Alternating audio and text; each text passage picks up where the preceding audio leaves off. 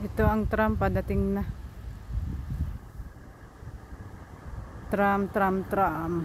Sinasakyan kong tram papunta sa bayan.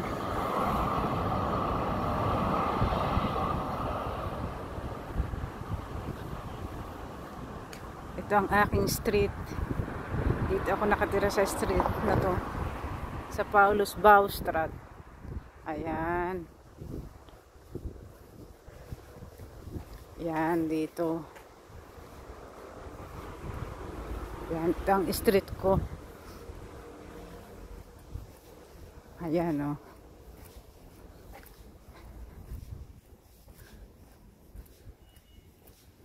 Yan.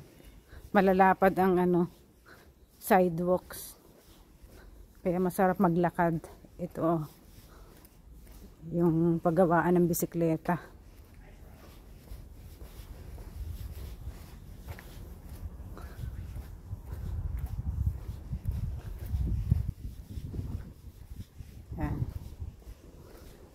Daming bisikletang nakaparada.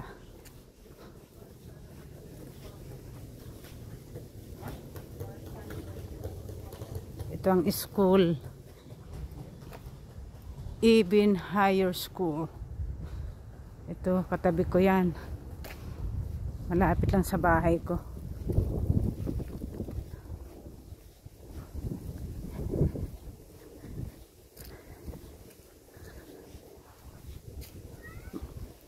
Hello.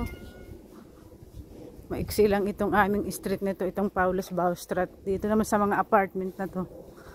Nakatira ang mga expats. Dini katabi ko. Oh. Katabi ng bahay ko ang mga expats. Mga magagandang trabaho nila. Ayan. Ayan. Yan ang aking house. Ng aking car. Yan.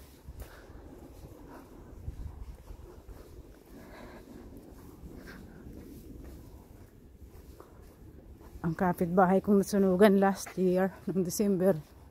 Hindi pa tapos ang bahay niya. Sa December pa ulit matatapos. Sana ay matapos na agad. Ayan. Hanggang dyan lang ang aking street. Maliit lang.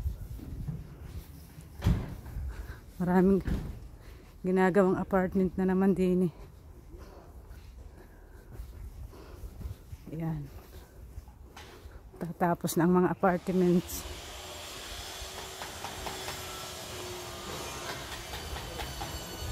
Oh, dito kami sa sidewalks naglalakad. Daming bike. Yan. Ito. Hanggang din lang ang Paulus Baustrat. Maiksi lang siya. Yan lang. Hanggang din lang sa Ayan. Oh. Yan. Yan. Okay. Subok-subok lang ng pagbibideo at magsalita daw. Hi.